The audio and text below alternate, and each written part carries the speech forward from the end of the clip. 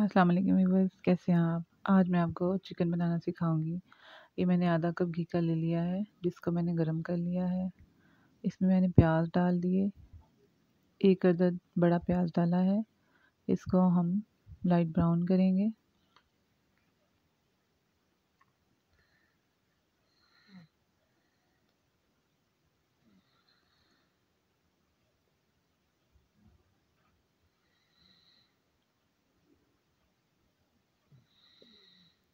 ये light brown हो रहे हैं हमारे प्याज।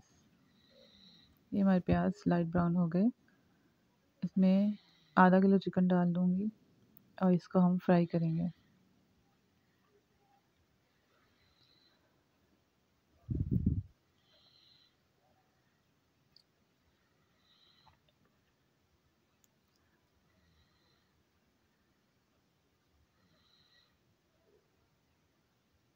ये हमारा चिकन फ्राई हो गया है। मैंने अब आधा चम्मच मिर्चों का डाल दिया, आधा चम्मच हल्दी का और आधा चम्मच नमक का डाला है। दो अदर टमाटर, एक चम्मच लहसुन अदरक का पेस्ट इसमें हम डाल देंगे।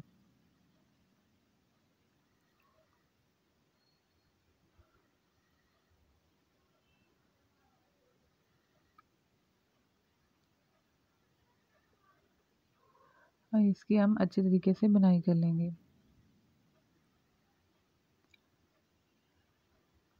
इसकी बुनाई हो रही है।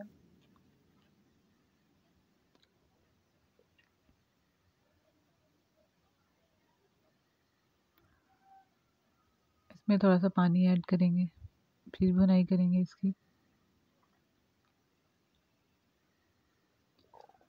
इसकी बुनाई हो चुकी है। अब हम इसमें थोड़ा सा पानी डाल देंगे और इसको थोड़ा सा पका, पकने के लिए रख देंगे।